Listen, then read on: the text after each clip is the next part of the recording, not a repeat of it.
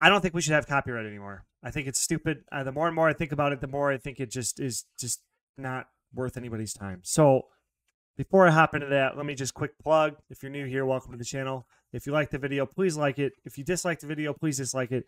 Uh, but what I really would ask for is comment uh, some feedback down below about what you didn't like about the video so that I can improve this video going forward so I can make the best videos possible for viewers like you because I'm here ultimately to serve the viewer. Please, thank you let's just hop right into it. So, what I mean by copyright, I don't think we should. I don't think it should be a thing anymore. Uh, I grapple with the idea a lot, and I'm still technically on the fence about it. It comes up again because specifically of a YouTuber named Lud- Ludwig. I'm sure a lot of people know Ludwig is. He's a very famous Twitch streamer, and I saw that he and uh, Asmongold, other streamers like Asmongold are reacting to this, and he made a video about ChatGPT scaring you, being scary, being big spooky, big scary spooky, um, because essentially in the video he starts off by saying that he doesn't believe in the AI hype train, but he thinks it's fundamentally going to change all of like the universe or something like that, and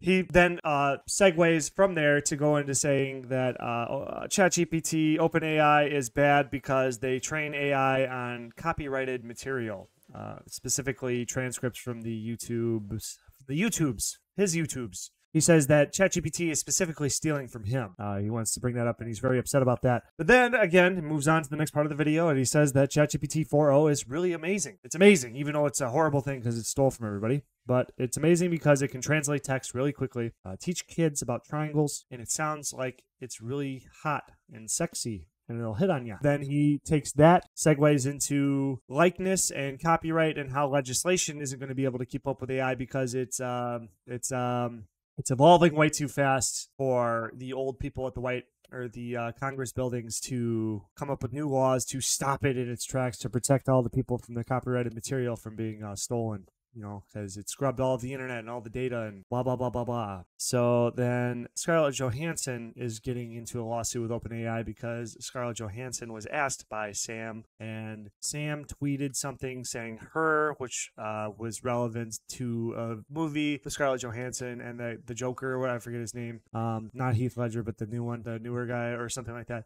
And in that movie, Scarlett Johansson is the AI who goes on dates with the Joker or whatever, and then Scarlett Johansson, you know, all this is very, very much so um, coincidental, but he is to go as, as far to say that it is enough evidence to condemn OpenAI of stealing Scarlett Johansson's voice. If not stealing, uh, getting somebody to sound like her on purpose, which uh, again he applies in the video that that's morally wrong because he he they they want Scarlett Johansson. Scarlett Johansson says no, so like it's just as believable on one hand that they did find somebody who is who sounds eerily similar to Scarlett Johansson just to capitalize on the hype. But I digress. That is not important. I'm just going off on a random tangent. The reason why that is important is because Ludwig is wondering about likeness because of uh, SpongeBob text to speech uh, for his Twitch. So, you know, there's a lot of things going on there, a lot of things going on. But what that brings me to, the reason I'm going to comment on, what I'm going to talk about is why I think copyright is, is stupid. I don't like copyright anymore. I think the more I think about it, you know, we were raised on copyright's good. It's for creative people, it's for artists to get paid for their work, to protect authors from their work being stolen, from thieves, uh, intellectual property it's it's to incentivize people to create. But I I thought I you know, the more I think about it, and this is still more of a feelings argument, I haven't really hashed it out. I haven't really done the digging, searched the data, but I think the standard, the basic premises of the arguments that I have come up with are good enough for me to just like start to lean a lot more that copyright shouldn't be a thing. So the first argument I would say is copyright can only really be utilized uh, by people with a lot of money. So huge corporations like Disney are the only entities that seem to be able to uh, really capitalize on copyright because their material. If they if someone steals Disney's material, they're coming at you with the full extent of the law, and they are ready to take you down, down, and put you into fine jail so you can never make money again me, uh, for instance, if I made this YouTube video and a bunch of like uh, AI botters or you know whatever, some botters came by and just like stole my content, stole my voice to create a likeness of my voice, and then whatever, or took my content and clipped it up and made whatever they wanted, I would not really have the time or resources to really go after them. So therefore, copyright on paper sounds like it's really helping me, but again, it's only helping those with money, which is the top one percent, more or less. You know, I mean, there's there's nuances there, obviously, so just take that with a grain of salt. But that is one of the main basic arguments why I don't like copyright. Now, moving on, the first thing I started thinking about copyright, which I didn't really like it, is that I don't feel intellectual property is real. What I mean by that is that um, I don't feel that Isaac Newton uh, discovering gravity and forming the formulas or whatever, presenting that means that it is his intellectual property. Like, yes, in history, he was the first to discover, and that will always be his, at least as long as our modern history history exists. But fundamentally, it was there to begin with, and he doesn't necessarily own that. So to that's not a perfect comparison, but to tie that to the rest of it, who owns melodies? Who own, you know, if you string notes together to make a pattern, or if I write words on a paper um, to make a story, a story or whatever, it's all derivative of something. And even the people who have, if you broke it down into the most basic reduction, like reductionist forms of just like sounds, letters, numbers, etc., it's not those people who discovered those things or put those things together, they don't own them. They're just organizing something that is already there into a different shape. And now that may be something, you know, like I said, with Sir Isaac Newton or whatever. Uh, sorry, I don't know if that's not you.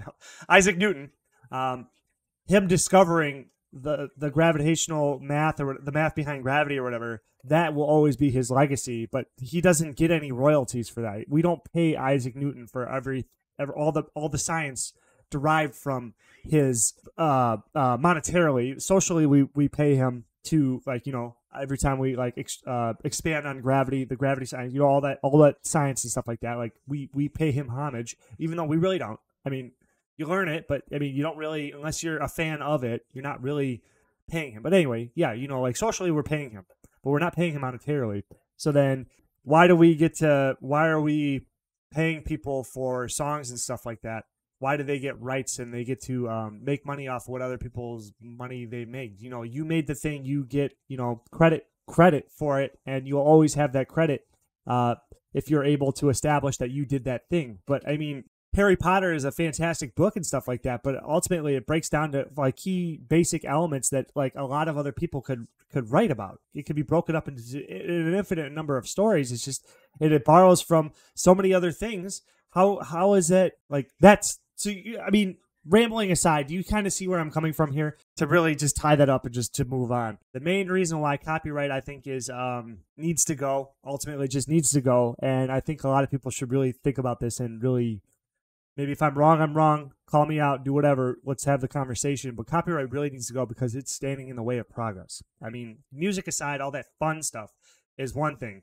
But when it comes to something as revolutionary as ChatGPT, and that's just like an early iteration of what this this technology could become, if we're going to start here uh, nickel and diming because they scrub the internet for publicly available data, if you really cared about the copyright, you would have protected the data, and you would have you would have. Um, it's hard for me to believe that you you wouldn't have like put behind a paywall so that you'd be getting money for it, or like I don't know, like because because if we take copyright further like if ChatGPT isn't allowed to be trained, an entity isn't allowed to learn, machines learning because our brains are machines too and they learn, couldn't you then argue that like our memories are copyright violations because we are recording in our brains material that doesn't belong to us. So then it should be, you know, if we quote something like, um, I remember before the internet, everybody used to quote South Park episodes. They used to quote, quote, uh, Step Brothers, nonstop. All that technically would be a copyright violation. So then, what I'm saying about copyright is that if it's going to get in the way of AI being able to be trained, I really don't think that it's worth our time because, yeah, OpenAI is going to create some, is going to make a lot of money.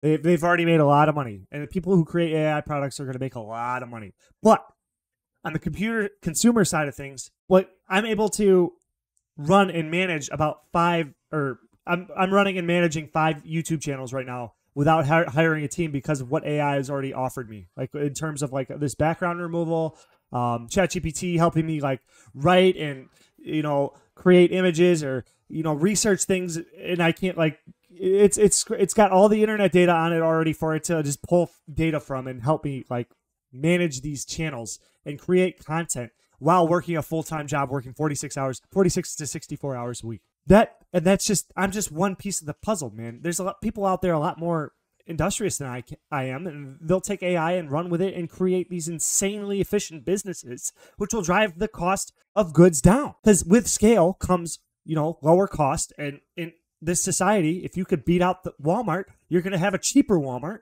And if you could make a cheaper walmart with or cheaper amazon with the same quality of goods that's only good for you know the average person.